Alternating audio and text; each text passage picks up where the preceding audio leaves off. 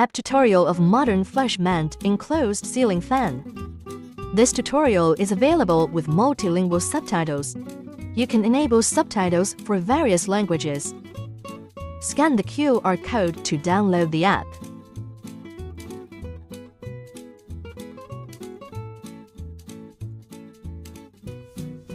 Open the app.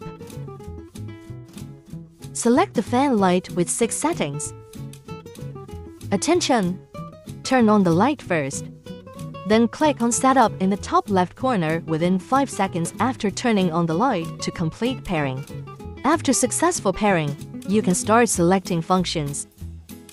You can adjust the fan speed with 6 gears.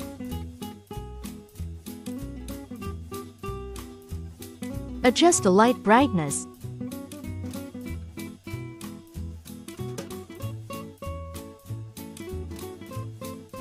Adjust the lighting mode. Switch between warm light and cool light.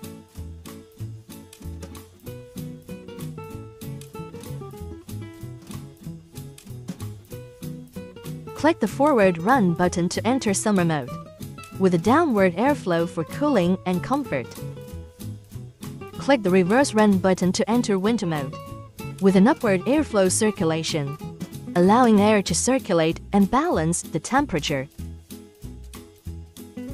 Natural wind mode, gentle airflow. Random mode, randomly varying wind speed.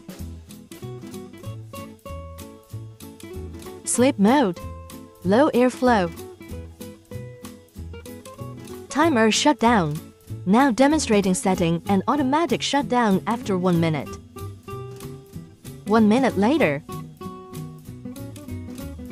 Thank you for watching.